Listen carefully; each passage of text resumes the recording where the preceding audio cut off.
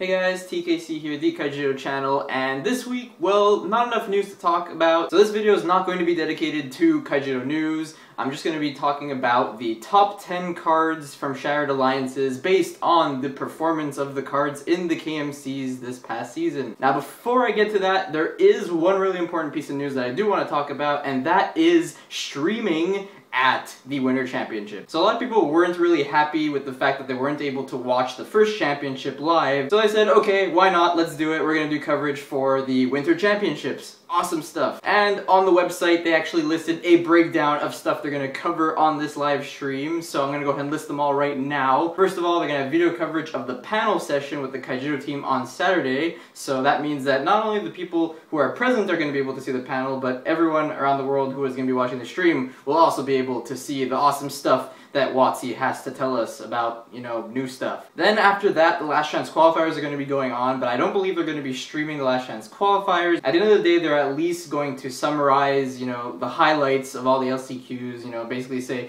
who got invited, uh, what decks were they using, and etc. etc. Then on Sunday, of course, is going to be the championships. So during the championships, they're going to do player interviews and deck techs. Uh, kind of like what they did with the uh, Wizards Kaijudo YouTube page and I guess on the website as well. Uh, Carl Reddish helped a lot for uh, deck techs and uh, there are also some player interviews going on too, but they kind of summarized that into a little like highlight video in a way for Saturday and Sunday. So at least now it's going to be live and there's going to be interviews and deck techs and a bunch of stuff. In addition to that, they're also going to be posting the standings of the Kaijudo Championships every round. And every round, just like they did with the first championships, they'll be doing a feature match every single round. But this time they're going to be displaying it live for all to see. Last time around, there were, you know, a little bit of technical difficulties and they were only able to post like two matches on their YouTube channel, which is kind of unfortunate, but oh well. But this time, you know, there shouldn't be any mistakes. Uh, hopefully they'll be testing out all the streaming and stuff like that and they'll be able to show all the feature matches live and maybe with with commentary as well. And then lastly, once the championships are done, they're going to be, you know, live streaming the awards ceremony uh, for the people who got first, second, I guess third and fourth and stuff like that. So that's going to be really cool to watch. And of course, if you follow them on Twitter and like their Facebook page,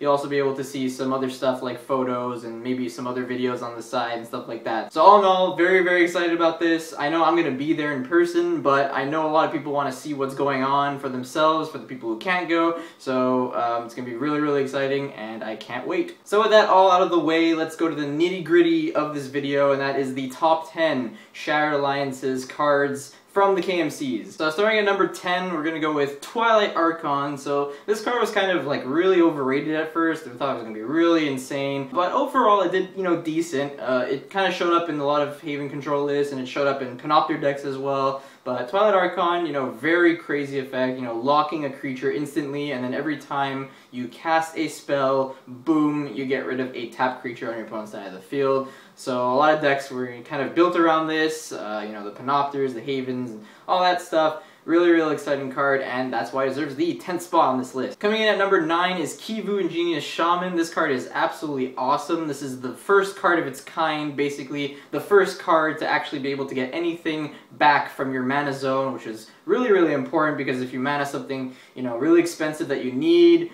or, you know, even like Shield Blast sometimes, like Terror Pit Root Trap, Kivu just gets the job done. At the same time, you're even ramping yourself to replace the card you took, so it's absolutely awesome. It doesn't like ruin your tempo. You keep your mana the same way it always was, but you get the card you need. And in addition to all that, it's also a double breaker. So overall, this card is very, very efficient, uh, mainly used in Haven control list, but I believe it's popped up in some other things like some uh, Huda Big Stuff decks, which is kind of like a, a Cordia Kurigar ramp monstrosity thing uh, that I talked about a while ago. That's in there as well. Uh, so overall, Kivu, awesome Spirit Totem, really good card. Coming in at number 8 is Wild Strider Ramnoth. So for all you people complaining that nature isn't getting anything good, well, Ramnoth is, you know, an example of a really, really efficient nature creature. This card is you know, one of the main reasons why Haven Control is doing so well, you know, it's just a body with a double breaker that, you know, consistently ramps you over and over and over again as long as it doesn't get banished by things like, you know, Terror Pit or Root Trap or things like that. But since it comes down um, But since it's a level 6, and you probably have some other ramp cards in there as well, like Full Metal Lemon, Sprout, Reap and Sow, things like that, it will get on the field earlier than, you know, turn 6, so it'll probably be turn 4, turn 5, and usually there isn't, you know, much to deal with that on turn 5 except for, like, maybe bounce creatures like Rusalka, or maybe even Grip of Despair, um, so things like that. And so Ramnoth, you know, was really key in getting to that 10 mana, which is really important so you get your Haven out, or get your Andromeda out, or whatever you want. Ramnoth is just really good for that kind of purpose. It's just to getting to the late game as quick as you can, and then boom, you just finish your opponent off. Coming in at number 7 is Queen Kalima, the Darkness Monarch. Really crazy stuff. I would have put this higher if a lot more Kalima decks were being played, but unfortunately that wasn't the case. Kalima, you know, kind of really didn't do much for the first half of the season, and then like later on, boom, it just started becoming popular and realizing how good Kalima could be. So um, I guess you could also include Mark of Kalima into this kind of seventh place as well. It's a similar effect, but basically, you know, you throw this into a mono dark list, mostly mono, usually use light or nature, uh, multi-civs that pair it with darkness so that you're, you have a 100% chance of hitting your Kalima at 3 darkness and your Mark of Kalima at 2 darkness. I used Kalima myself at the KMC I went to. Uh, I got top 8 with it so did my friend, and you know, it just kept on getting a lot of good performances after that. So Kalima very, very crazy card, but unfortunately it doesn't beat Haven on this list, but still at the 7th slot, very, very great card. In 6th place we have Blinder Beetle Prime, the best evolution from this set, and a very, very good evolution for the Light Civilization in general. Probably the best one in my opinion. It completely got rid of Halon from the Mono Light deck. It's used in a lot of other decks as well. Uh, it's even used in Control sometimes to kind of combat, you know, the aggressive decks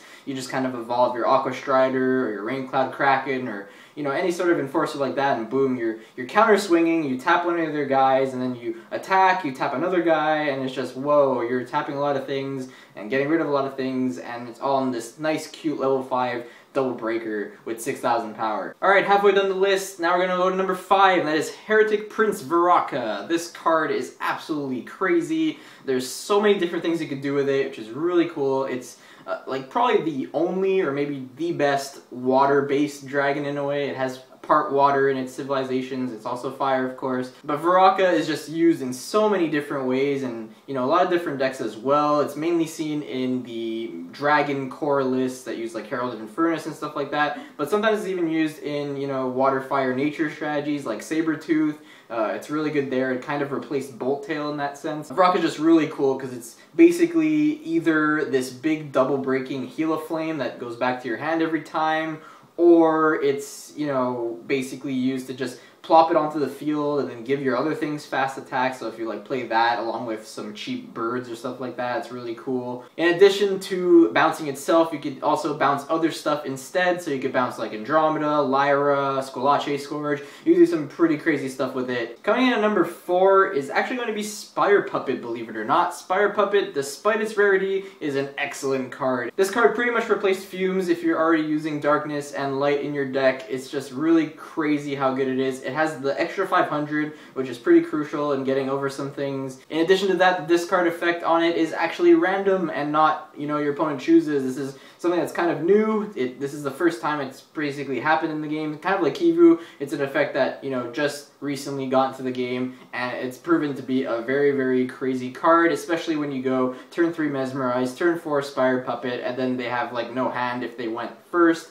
and then you pretty much win the game from there. So of course, this card is mainly used in control decks, uh, especially Kalima and Haven decks. Really, really crazy. You could bring it back with Dracothane, discard some more cards, uh, bounce it yourself with Piercing Judgment, play it again, discard more cards. You can do so many things with Spire Puppet, and this is why it gets fourth place, because it's a very, very, very useful card. Now, coming in at number three is another card I wouldn't have expected at all to be on this top 10 list, but that card is Lost Patrol this level 3 5000 power common. It's a light darkness that does literally nothing. But this card is really, really, really good. And Cyberlord Games actually proved that because they pioneered this light water darkness tempo deck that a lot of people have been calling it Lost Patrol tempo just because it's so out there and strange, but it's it's really strong. It's a level 3 5000, you know, Sword Horned is a 5500, but because this card is Light and Darkness, it fits a lot better in this kind of list. You know, of course, Swordhorn's been seeing a lot of play in like Mega Bugs and,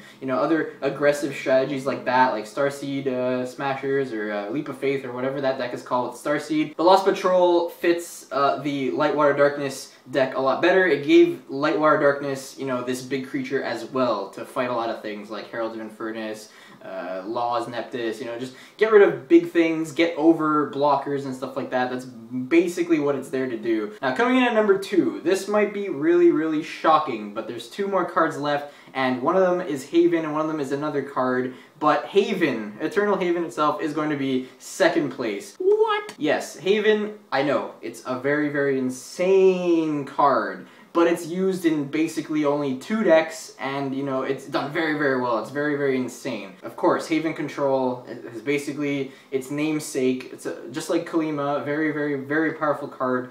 Uh, it's untargetable, it's a big blocker, 50,500, you power up all your light creatures, you draw cards when you attack and when you summon it, you summon blockers for free, you do basically everything you want with Haven, so it's it's absolutely, you know, insane. At least now with Bottle of Wishes retired, you know, there's not going to be any more turn 2 Haven shenanigans, so Haven is, you know, going to be slightly worse. Not really that much worse because, you know, the whole deck didn't really rely on Bottle too much. It was just there because it needed to be there. But, you know, people are just going to focus with Ramp, you know, keep on going with the Ramp theme and get Haven out, you know, turn 7, turn 8, that's like the goal. And then you just boom, Squillace Scourge, and then you just go for game from there. That's basically what you do with Haven.